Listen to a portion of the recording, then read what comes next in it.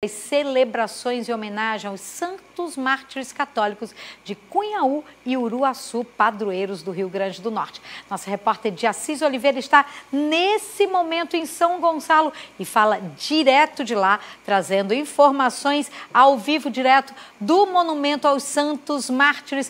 Boa tarde, de Assis, parabéns, né? Você também faz parte dessa história de sucesso da TV Ponta Negra.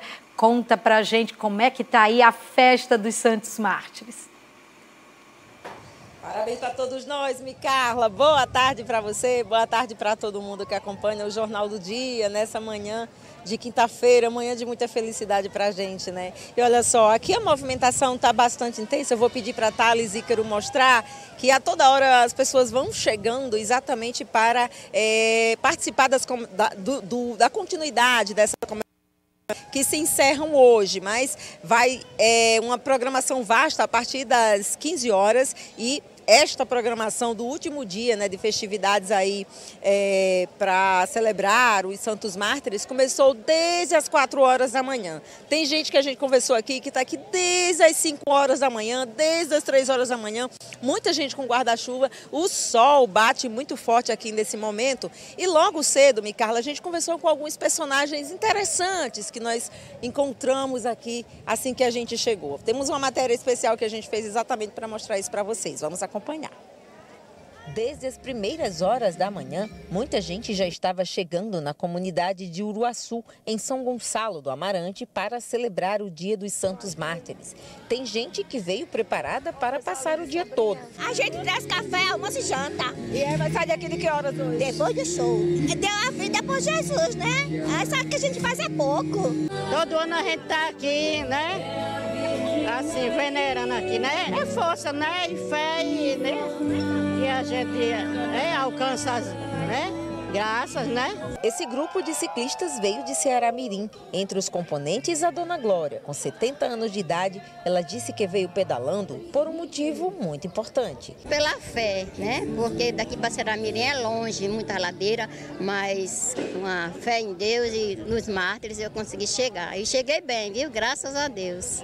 Feliz? Estou muito feliz. A gente sempre procura é, orar, pedir a Deus que caminhe sempre em nossos pedais, que dê tudo certo. O seu Antônio também trouxe toda a família para as celebrações. Ele veio preparado para enfrentar uma maratona de orações, louvores e também um dia bastante ensolarado. Tenho muita fé, porque é, nos Marte, que ele sofreu muito, teve essa morte dele que teve aqui, né? E eu tenho muita fé neles, tenho fé demais e por isso que todo ano aqui eu estou aqui. A história conta que 30 pessoas foram vítimas de dois massacres no interior da capitania do Rio Grande do Norte, que na época vivia sob o domínio português. 25 homens e 5 mulheres foram reconhecidas como vítimas de dois morticínios diferentes, ambos tendo ocorrido no ano de 1645, durante a invasão holandesa no Brasil. O primeiro massacre ocorreu em julho, na capela de Nossa Senhora das Candeias, no engenho de Cunhaú, no município de Canguaretama.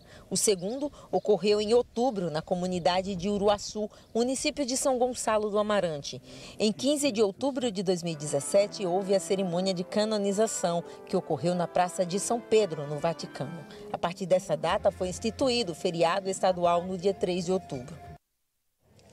Pois é, Micarla, e dando continuidade aí à programação, logo mais às 15 horas haverá recitação do texto da misericórdia. Às 16 horas será celebrada aí uma missa solene presidida pelo arcebispo de Natal, metropolitano Dom João Santos Cardoso, e em seguida, encerrando aí toda essa programação, um show do padre Fábio de Mello. Micarla, são essas as informações, eu devolvo para você aí no estúdio, também parabenizando aí pelos nossos números.